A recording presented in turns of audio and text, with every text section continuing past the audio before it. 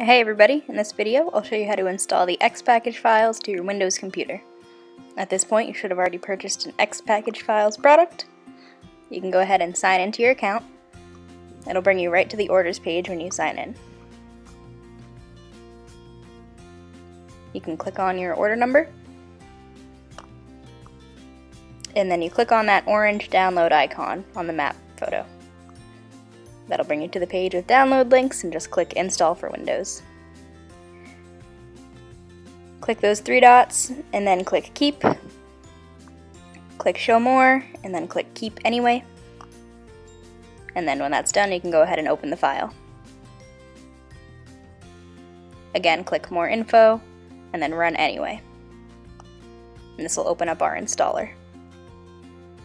You want to make sure if you have Basecamp open you close it accept the agreement, and continue through with the installer.